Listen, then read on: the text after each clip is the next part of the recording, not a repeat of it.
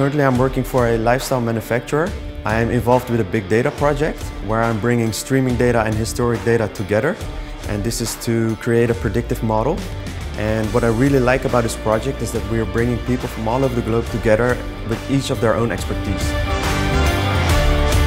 As a data engineer, uh, I'm doing big data projects for a large Dutch retailer.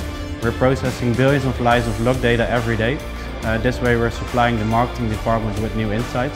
I really like this because this way I uh, get the opportunity to work with new technologies and I learn new stuff every day.